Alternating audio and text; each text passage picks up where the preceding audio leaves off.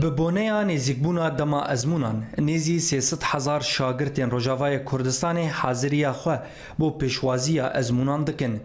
لباجارین هرمن جزیره کوبانی و عفرینه شاگردین آستا پیشی کتن ازمونین داویده ین سالا ده هزار و پازدان و ده هزار و شازدان پشتی گۆشاگرتێن ئاستاپێشی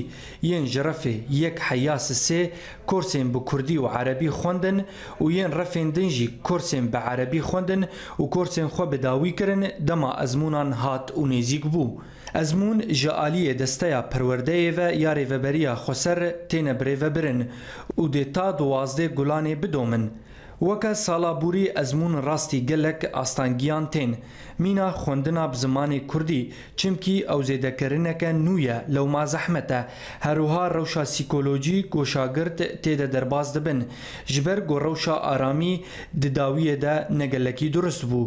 و یا دن گوهرم راستی پیلک کوچبری پرمزن هاتو بو جبلی گوهن دبستان رجاوای کردستان به تایبت لکوبانه راستی ویران هاتنه تفیوه که ماموستا و کسیم برپرس هول ددن گو او ازمون به آستنگ و ناکوکی و به آوای کی باش بداوی ببن هن ماموستین روجاوای کردستان دبینن گو خالا هری زحمت گو ایسال شاگرد تیده درباز دبن اوه راهشتنا زمان عربی به تمامی جرفین یک تا سه یین د آستا پیشی ده هروها در باسکرنا کورس آن منهاج نو گوتف ده بزمان کردی نه و او یک لگوری ماموستیان پرزگری که که جه مترسینه یه تیزانین گوبریانها کورس و منهاج ریوبریا خوسر راستی شرمزار کرنه که تند جالی کولانا کردی لروجاوه کردستانی هاته و او کورس و منهاج به ایدیولوژیت هاته توانبار کرن